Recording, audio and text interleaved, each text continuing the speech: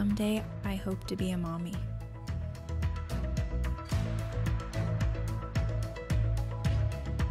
Someday, I want to be a film director and make movies for a living.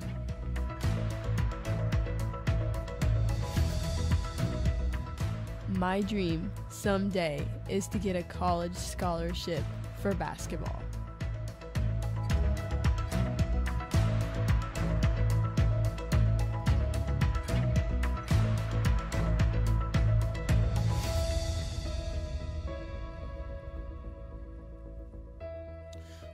Week we started a new series called Someday, and that's a word that we generally say a lot about some things that we would like to eventually do when we have enough money, or when we have enough time, or when we have enough experience, or when we have enough knowledge, or when we have kids, or when our kids are grown and gone. But someday usually never comes, and last week we said why that is that someday is code word for never. Someday really isn't all that important. Someday is nebulous.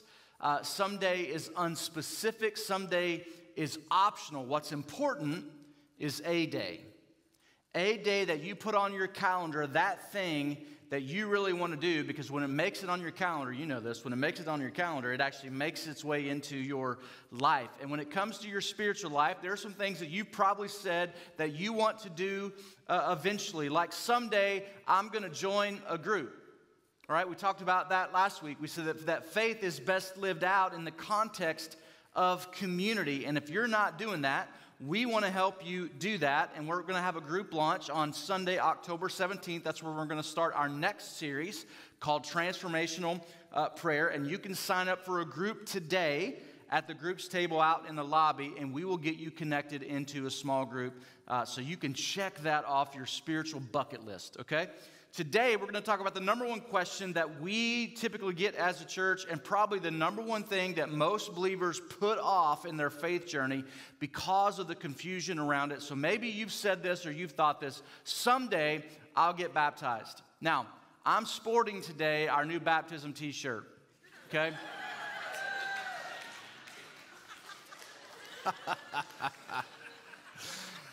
oh, I'm kidding. This is like, it's like a dripping candle wax or something. It, it feels like a haunted shirt. I don't know. But I said a few weeks ago that our new baptistry was dripping, okay? And, and some folks from our worship team found this shirt and they're like, you got to wear this. And so, so I did. For those of you who don't have teenagers, dripping is slang for like styling or cool, okay? It doesn't mean that our new baptistry has a leak, all right? I just want to clarify what dripping actually means. So, um, all right, is this going to throw you off? I need to zip this back up.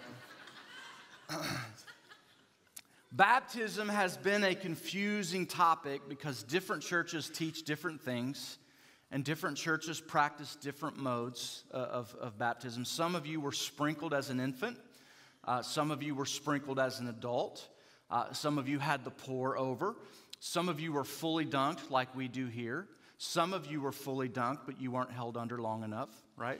One Mississippi, two, we count to 10, and then we let you up. So, I'm just kidding. Uh, I, I, uh, I, had a guy in my first ministry uh, that came from a tradition where they baptized three consecutive times the name of the Father, the Son, and the Holy Spirit. Okay, so we only dunked once, like name of the Father, Son, the Holy Spirit, up, and he wouldn't he wouldn't do it. He wouldn't do it because we didn't do it like his tradition, and, and he was just stubborn about it. And uh, when I announced to the church that I had accepted a position here at Center Pointe and I was going to be leaving, his wife asked me to go have a conversation with him again about baptism, and I did and went and talked to him. I said, Brother, if, if the only thing that's holding you back is two extra dunks, I will dunk you three times. Right? We, we will get it done. I, I will dunk you seven times to represent perfection. All right? You want to go 10 to represent completion? We'll do that. You want to go 12 for the number of God's people? We'll do that. You want to go 40 for every day that Jesus was in the wilderness? I'm going to need backup, and you may not live, but we'll do it. we will do it. We settled on three and got it done, but here's my point. He had a filter around baptism that became a hindrance. He knew that he, there, he knew that he needed to do it. That, there was no argument about that at all. He just kept putting it off because of the emotions of doing it differently than the tradition that he grew up in. Most of us interpret baptism through a lens of tradition and not through a lens of Scripture. And here's what we know about tradition tradition always evokes emotion. And so here's what I'm going to ask you to do today. I'm going to ask you to just to set aside your baptism filter, because we all have one. Just lay your filter down and let's just look with some clarity at the Word of God and see what it says. Now, from my own study of the Bible, here's what I see about baptism baptism is not a big decision, but it is a big deal. It's not a big decision, but it is a big deal. If you've ever wondered, or you're wondering now, should I get baptized? Um, it requires two things. We're going to walk you through this today to help you answer that question. It requires two things it requires faith and repentance. Now, faith is believing that Jesus is who he said he was, that he is the Son of God who came to earth in the flesh who died a sinner's death on the cross and then raised from the grave on the third day to save us from our sins and to provide us with eternal life. That's what faith is. Repentance is reorienting your life around that belief. That because Jesus died for me, I'm going to live for him. Not perfectly, but progressively. I'm not always going to get it right, but I'm going to keep moving toward the heart of God as He keeps pouring His grace over top of me. Right? So it's not perfect, it's progressive. Our mission is, in case you've forgotten, to help people find and follow Jesus. Right? This is the mission. Faith happens when people find Jesus. That's the moment of faith. Repentance happens when people begin to follow Jesus. The Greek word for repentance is the word metanoia, which literally means a change of mind. Like when we begin to follow Jesus, it means we have changed our mind about what's most important. We're no longer following the ways of the world, we are following Jesus because Jesus offers a better way. So, faith and repentance are big decisions. Faith and repentance are big decisions. Baptism is the simple step that follows that. If you believe in Jesus and you want to follow Jesus, you've already made the big decision and the right decision. And so baptism is really just the simple step that follows.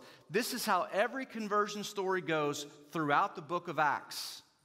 So, Acts is the historical account of the beginnings of Christianity over about the first 30 years or so of, uh, of the church as it grew from a few a handful of followers to, to a movement and in acts chapter 2 we talked about this a few weeks ago peter preaches the first gospel message about who jesus is and what jesus accomplished and the crowd found Jesus. They believed his message. They believed that Jesus was the Son of God who died for our sins and rose from the grave on the third day. And then they asked this question What must we do to be saved? What do we have to do? We believe this, now what? And Peter says this repent and be baptized in the name of Jesus Christ for the forgiveness of your sins, and you will receive the gift of the Holy Spirit. Nobody in the crowd that we're aware of got hung up on baptism. Nobody pushed back. Nobody was like, okay, is that, is that really necessary? I mean, do we really need to do that? Isn't faith enough? That was not the posture of this crowd, and here's why. A verse uh, earlier, 37. When the people heard this, when they heard the gospel message, they were cut to the heart. There was conviction, there was remorse, there was humility. If this is who Jesus was, and if this is what Jesus accomplished, then what must we do? What must I do? And so, if your attitude around baptism is, do I really need to do that? Then, my question to you is Have you really been cut to the heart over your sin and over his sacrifice. Because if you understand the significance of the cross, then baptism is an easy decision. And that's what we see all throughout the book of Acts. In Acts 8, Philip is having a conversation with an Ethiopian. He's explaining uh, the book of Isaiah to him, he's explaining the gospel to him, and they come up to, to some water, and the Ethiopian says, Well, here's water. What hinders me? There was faith, there was repentance, then baptism. In Acts 9, Paul has this dramatic conversion experience on the road to Damascus. Jesus found him. And when Jesus, the Jesus you don't believe in shows up to you, uh, you change directions, right? There's repentance, there's metanoia. So Paul decides to follow Jesus and be baptized. There's faith, there's repentance, and then there's baptism. In Acts 10, Peter takes the gospel to the Gentiles for the first time, specifically to the house of Cornelius. And he and his entire household are baptized after hearing the message. There is faith, there is repentance, and then there is baptism. In Acts 16, Paul shares the gospel, and a lady named Lydia is cut to the heart, and she is baptized. There is faith, there is repentance, and then there is baptism. In that same chapter, Paul shares the gospel with the jailer uh, that's in charge of the prison where he's being held captive, and, and the jailer uh, accepts Jesus, his entire family is baptized. There's faith, there's repentance, there's baptism. Every one of those conversion stories are the same. There was a message about Jesus. Then there was belief in Jesus, that's faith. Then there was a decision to follow Jesus, that's repentance. And the immediate next step was to be baptized, not someday, but today. Their mind was changed, their life was changed, and that change was demonstrated through baptism. So, baptism was not a big decision in the book of Acts. Faith and repentance were big decisions.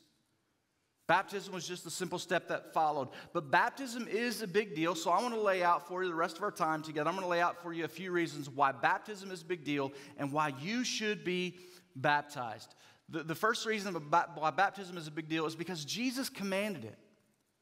Jesus commanded it. Now, we talked about this a few weeks ago in our disciple making culture message that one of the last things that Jesus said to his disciples was to go and make disciples.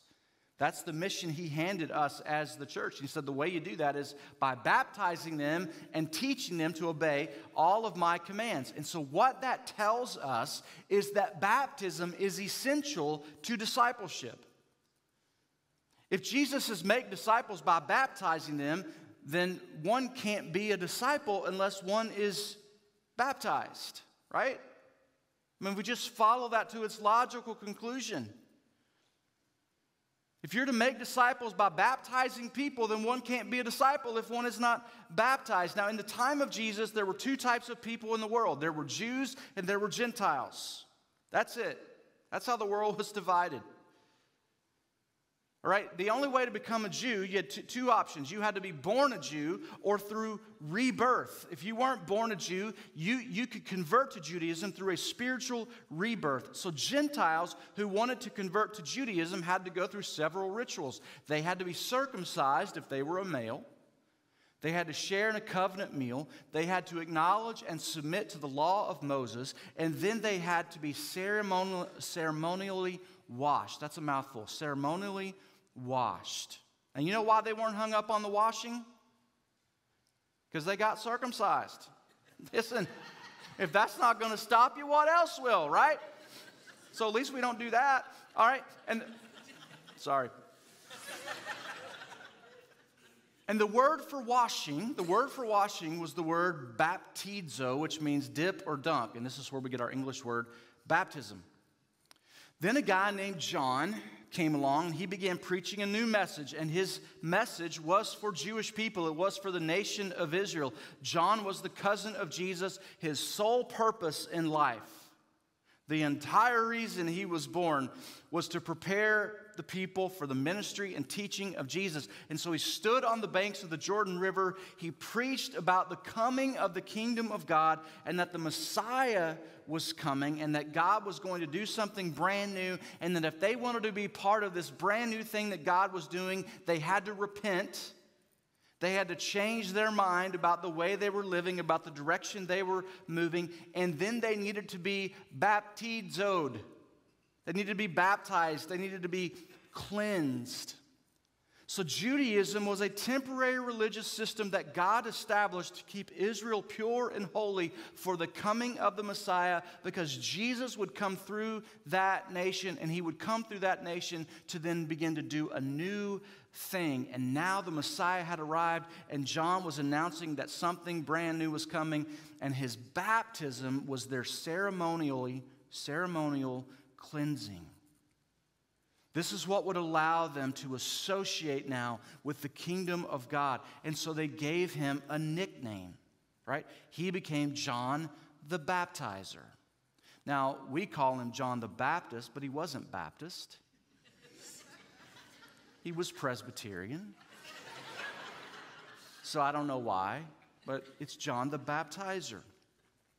Jews came from all over Israel to hear his message because they were ready for something new. The law was too much to bear, it was pressing them down, and that was by design. It was intended to point them and the rest of the world to the new way of Jesus. And so thousands of people flocked to this spot at the Jordan River where John was baptizing.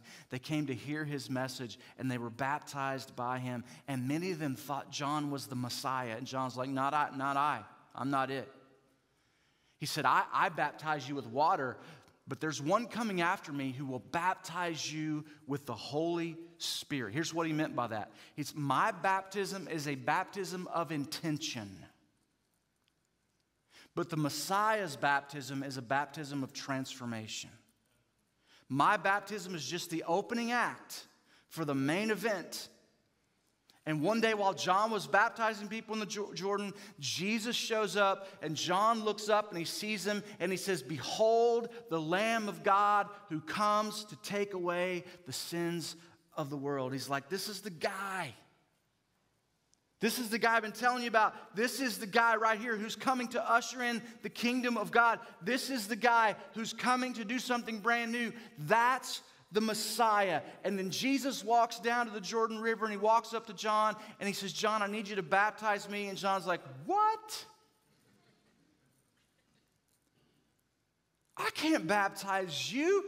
You baptize me. And Jesus said, No, I need you to baptize me to fulfill all righteousness. Jesus wasn't going to be baptized to be cleansed, he was sinless. He was being baptized to validate John's message of the coming of the kingdom of God and to identify with the people he was coming to save. That now he was one of them and he was going to die for all of them. And the Gospels tell us that when Jesus comes out of the water, the Holy Spirit descends on him like a dove. And it was in this moment that Jesus was inaugurated to do the thing he came to do. He was inaugurated for his ministry, he was inaugurated for his teaching, and he was infused with the Holy Spirit. And Mark chapter 1 gives us the condensed version uh, of, of these events. And so after his baptism and temptation in the wilderness, Jesus comes out in Mark 1:15 and he begins his ministry by saying this, "The time has come, the kingdom of God has come near. Repent and believe the good news." This was the same message that John was preaching. And now Jesus is taking up the mantle from John. John hands Jesus the, the torch, and now the focus turns to Jesus' message and ministry about the kingdom of God. And if he's going to teach this new thing, it was necessary for him as a Jewish man to be baptized into this new thing. In other words, Jesus was wearing what he was selling. He was wearing what he was selling. And the second reason we need to be baptized is that reason right there that Jesus did it. He didn't just command it, he actually did it. Following Jesus means that we're following his example to be baptized. It's a rebirth. In fact, Jesus talks about it as being born again in John chapter 3. He has this conversation with a religious leader, a Pharisee named Nicodemus. And Nicodemus is curious about Jesus' teaching. And here's, here's the conversation, verse, verse 3 of John 3. Jesus replied, Very truly, I tell you, no one can see the kingdom of God unless they are born again. Now, Nicodemus believed that Israel was the kingdom of God, and he was part of the leadership group that, that wrote the rules for how Gentiles could become Jewish and, and, and be welcomed into the kingdom of God. But he didn't understand, as Jesus was talking, he didn't understand how this applied to him. So, verse 4, he says, How can someone be born when they are old? So, Nicodemus is asking for a friend here, right? This is about him. How can someone be born when they're old? Surely they cannot enter a second time into their mother's womb to be born. He's saying, wait a minute, Jesus, I'm already Jewish. I'm already in the kingdom of God. So are you, are you talking about like a literal rebirth? And Jesus is like, no, I'm doing something brand new. This is not about Jews. This is not about Gentiles. Jesus answered, very truly, I tell you, no one can enter the kingdom of God unless they are born of water and the Spirit. He's saying the kingdom of God is for everybody. And the way, Nicodemus, you get into the kingdom of God is the same way a Gentile becomes a Jew. There's a spiritual component, which is internal, that only the Spirit can do. And that happens through our faith and through our repentance. And there's this physical component, which is external, that you have to do. And that's to be washed, to be cleansed, to be baptized. John's baptism was with water. But John said, One's coming after me that will baptize, that will baptize you with the Spirit. So Jesus takes water and spirit, and just like a Gentile has to be cleansed of their Gentileness to become Jewish, Jewish, Jesus was telling Nicodemus that he had to be cleansed of his Jewishness to enter the kingdom of God. Baptism is a public demonstration of a new association. And through your baptism, you are following the example of Jesus and publicly demonstrating your new association with the kingdom of God. We have a brand new outlook and we have brand new priorities. And that's the third reason to be baptized it marks new life in Christ.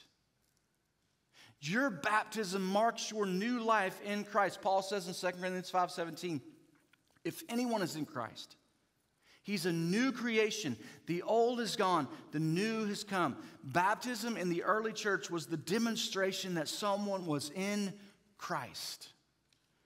Right? Because faith and, and repentance are internal things. But when they were baptized, everybody could know. That's a follower of Jesus. They are in the militia of Jesus.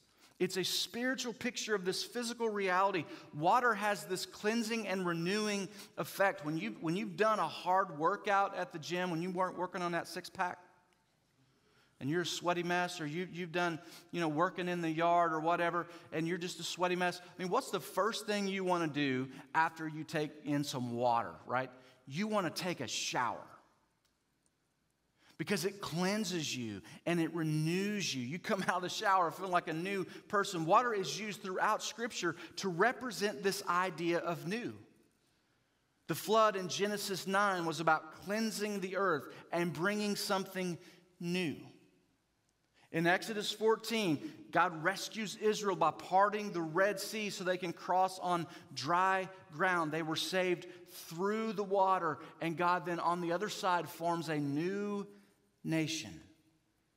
In Joshua 3, God stops the Jordan River from flowing so Israel can cross and take possession of the promised land. It was the mark of a new season in their story of redemption. Throughout redemptive history, water has represented cleansing and renewal, and the Apostle Paul taps into this idea in Romans chapter 6. He says, What shall we say then? Shall we go on sinning so that grace may increase? By no means. We are those who have died to sin. We've changed our mind. We've changed our direction. We're no longer that person. We've died to sin. How can we live in it any longer? Or don't you know that all of us who were baptized into Christ Jesus were baptized into his death? Well, what does that mean, John? We were therefore buried with him through baptism into death, in order that, just as Christ was raised from the dead through the glory of the Father, we too may live a new life. To be buried with Christ in his death means to have all of the saving benefits of his death which is forgiveness of sins, i.e., redemption. And then we're raised up with him in new life. So, this refers to the initial act of the Holy Spirit. Just, just as Jesus' baptism inaugurated his ministry, our baptism inaugurates our ministry. It sets us apart as ambassadors for Jesus, and we're infused with the Holy Spirit, which brings new hope and new priorities, a new heart, new mind. We've been changed. We've been changed. The former me is dead. The new me is raised up by the power of God's Spirit to new life in Christ. And baptism is a beautiful picture of this transaction. A person stands in the water to declare death to their old way of living. They go under the water, which represents burial, and they come up out of the water, which represents this newness of life. But here's the thing it really has nothing to do with the water. There's nothing magical about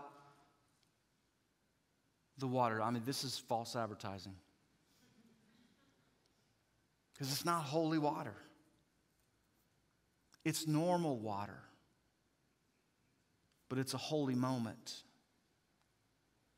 It's a holy moment because of the power of the Holy Spirit to make us brand new. So when you come out of the water, you're not dripping holy water, you're dripping Holy Spirit. You're dripping new life in Christ. And so baptism is a big deal, but it's not a big decision. If you've made the decision to follow Jesus, that's a big decision. Baptism is just a simple step that follows. And so, if you believe in Jesus and you're ready to follow him, this is your next step. If you're already a Jesus follower, but you haven't been baptized, you need to take this step. You missed first base. Let's come back around and pick it up. If you're a follower of Jesus who was sprinkled as an infant, you need to take this step. And this is where it gets emotional. But you need to take this step, and here's why because baptism is a personal decision. If you were sprinkled as an infant, that decision was made for you. And to be baptized as an adult, hear me on this because I know this is so many people's story. To be baptized as an adult is not disrespecting your parents, it is honoring your parents to be a Jesus follower. That's the reason they had you baptized in the first place.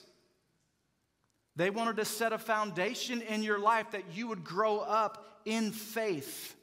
So, listen, take the emotion out of the equation and take ownership of your faith and make the decision for yourself. And then thank your parents for instilling faith in you. Thank them for setting the foundation for you to be a thriving Jesus follower.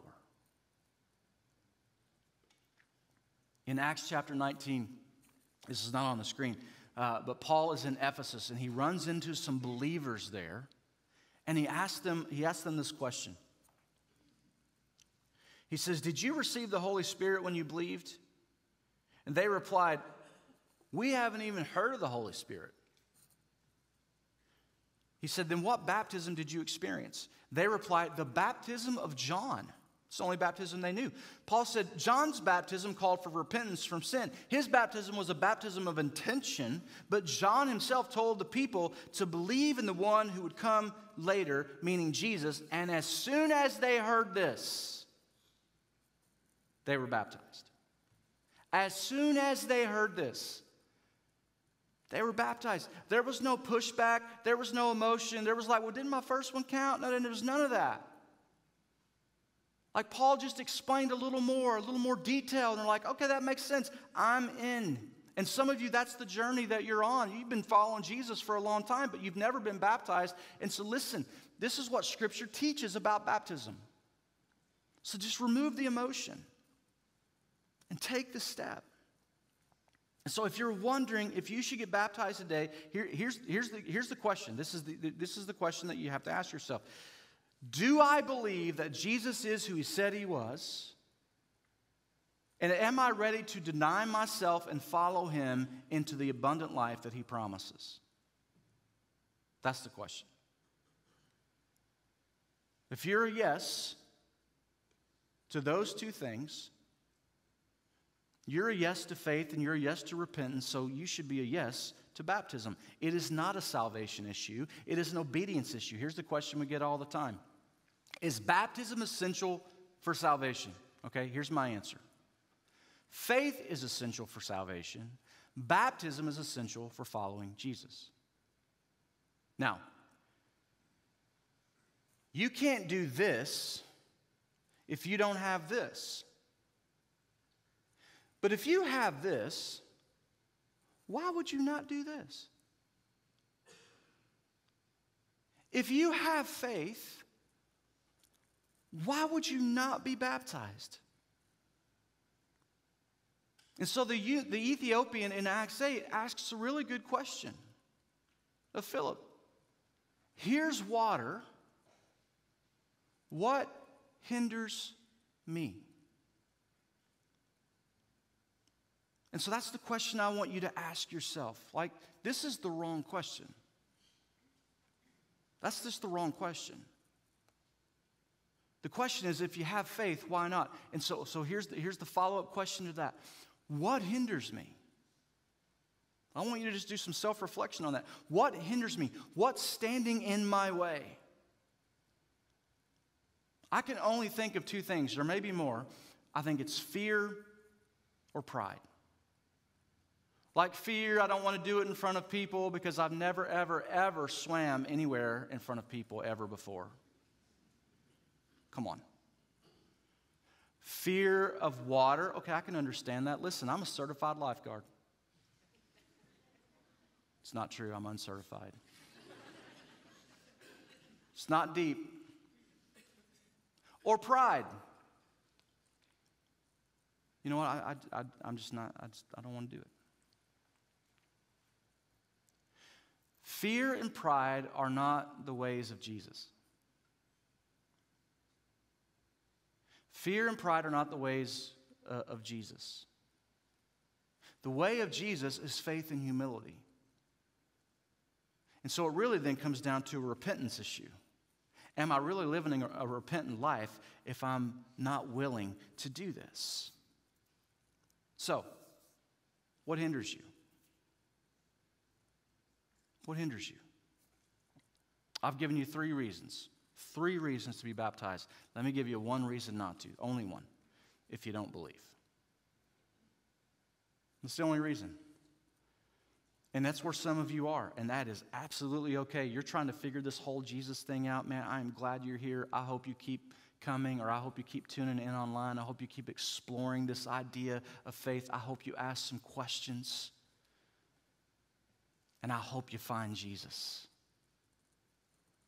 But if you've already made that decision, you've already made the big decision. So take the simple step of baptism, take the plunge into the power and promise of Jesus to make you brand new someday. And here is that day. October 10th is Baptism Sunday. And here's all you have to do.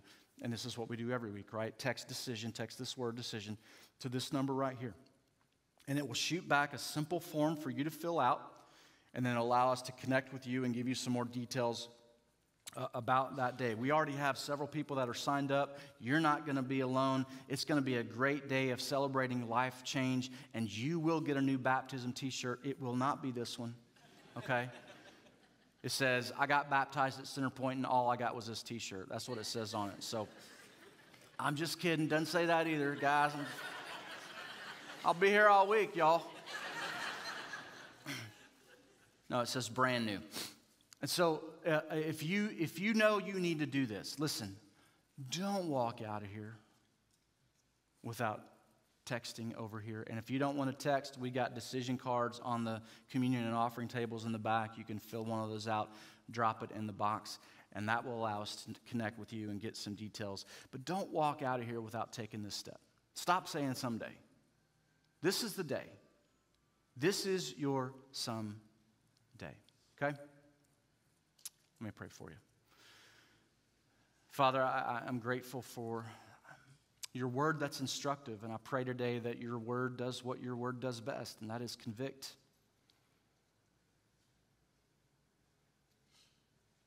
That the writer of Hebrews says your word is living and active.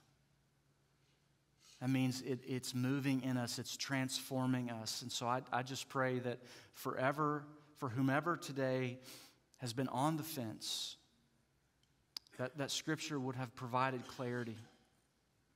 And if they need more clarity, that they would have conversations with people who are further down the discipleship journey than they are. But Father, we are a church. We want to continue to be a church where transformation happens, where new life is marked. And so, God, I pray that your Spirit will be working in the hearts of every one of us about what it truly means to have found you and to be following you. And I pray that in Jesus' name. Amen. Listen, if you're not sure that, that you believe and you want to talk to somebody about uh, this decision of faith or what faith means in Jesus, you can text the same word to the very same number. You just check the box that says, I want to talk to someone about beginning a relationship with Jesus. That will allow someone from our team to get in touch with you and have that conversation and answer some questions for you, maybe pray with you uh, as well. Uh, anybody today that wants to be prayed for, our prayer team is going to be down front right here. So as everybody else is making their way out the exit doors, you can make your way to the front, and we'd be honored to pray uh, with you and for you today. You guys have a great week, and we'll see you next week for part three of Someday.